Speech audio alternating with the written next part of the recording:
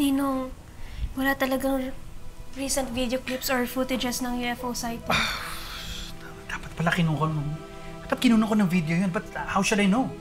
Ninong, ikwento mo nga sa akin yung eksakto nangyari that night.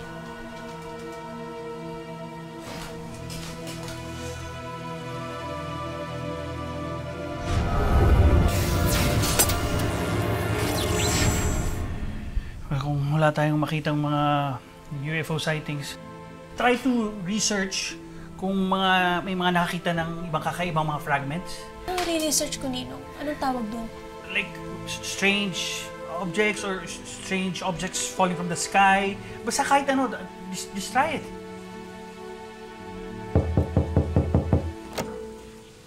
Seth, kailangan ko yung tulong mo.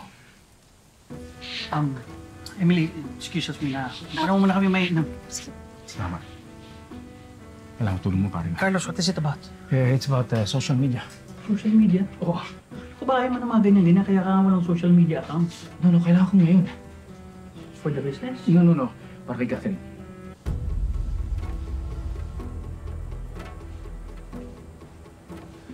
You sure about this, ha? Yes, yes, I'm sure.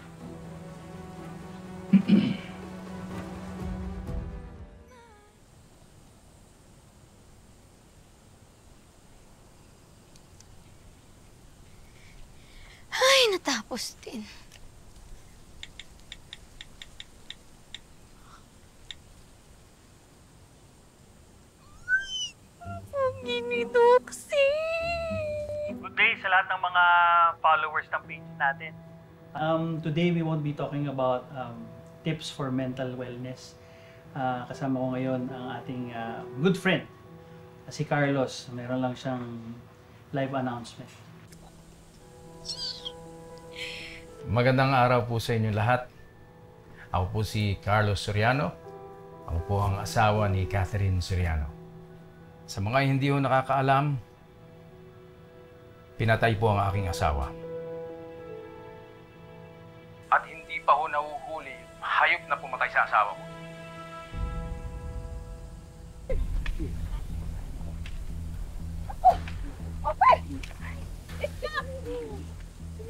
Ay, Dante! Halika dali! May pakikita ako sa inyo! Bilis! Minggoy! Halika, tingnan niyo to! Bilisan niyo! Ano yan?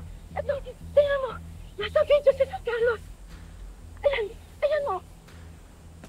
Lasing bilis! Minggoy! Wala pa hong ng mga pulis sa kriminal na gumawa nito. Kaya nakikiusap po ako sa inyo sa lahat ho ikalat ho ninyo yung video. Sa kung sino man ho makakapagturo sa killer ng asawa ko o makapagbigay ng mahalagang informasyon tungkol dito. Handa po akong magbigay ng reward ng 1 million pesos. Kapalit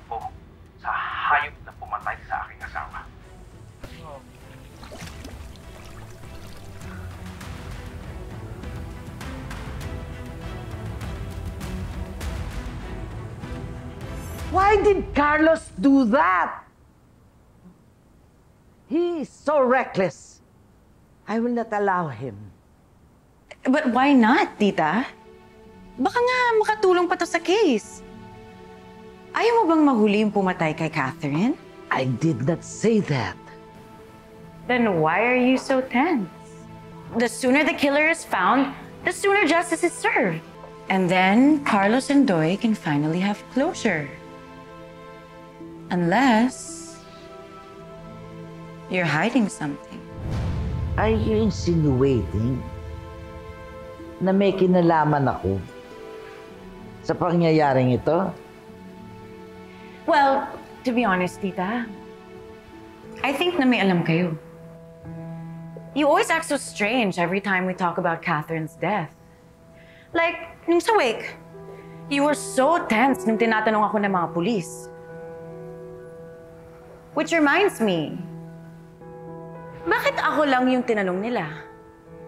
Ako lang yung inimbestigahan nila? Dahil ba sa property ko nangyari yung crime? Bakit hindi ka nila tinanong? At bakit naman nila ako tatanungin?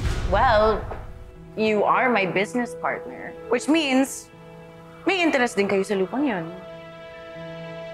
May motive din kayo.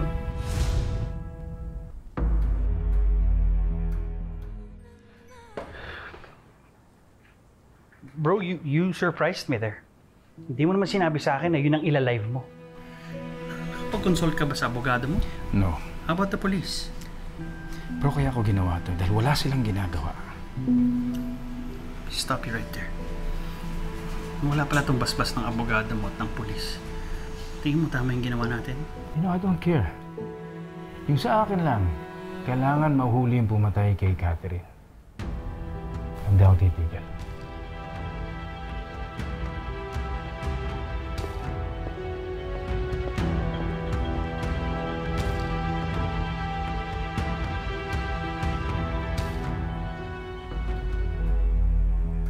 How dare you say that? Tumanda na ako sa negosyong ito. Kilala ko ng mga magulang mo. I've never resorted to violence and I am not a murderer. Wait, tita, wala naman akong sinabing na murderer ka. Nagtatanong lang naman ako.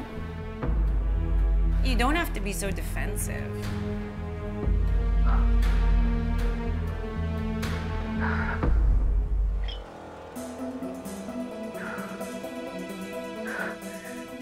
Karen! Karen! Karen, tawag ka!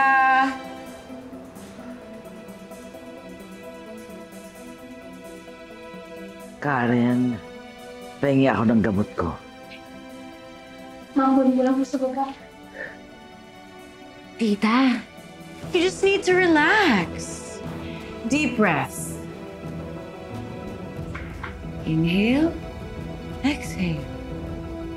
Just like that.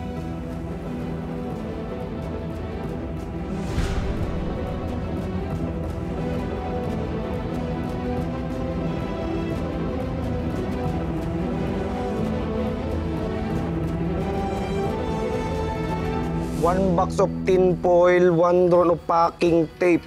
Ba't ganito yung project ni Doy? O ano-anong kailangan? Kawawa naman si Miss Catherine. Pati yung pamilyang naiwan niya. Ang sabihin ninyo, sana mahanap na yung killer na yan. Sayang yung required money. No materials matched. Hindi kaya ito yung makapagturo sa atin kung nasaan yung alien yun. Hindi mas better yun. Yes, Ninong. Isingilin ko yung ginawa nila sa nanay ko. Siguro po, miss nyo na po yung dating homo, no? Pero mami to, huwag ka po mag-alala. Ako po muna yung magiging pamilya mo. Okay lang sa akin. Doy, Daddy,